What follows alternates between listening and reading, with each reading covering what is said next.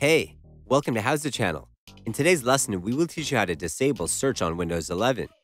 Open Taskbar Search. Search for Services.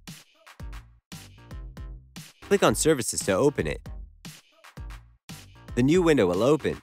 Scroll down through the list. Double-click on Windows Search. A new window will open. Set Startup Type to Disabled. Click on Apply. Click on Stop. The Windows Search is disabled. You can also enable it. Double-click on Windows Search. A new window will open. Set Startup Type to Automatic.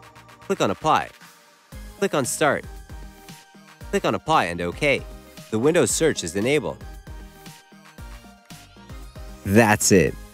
Thanks for watching the video. Please like it and let us know if you used any of our tips and tricks. Subscribe to our channel. We upload new tutorials every day. See ya!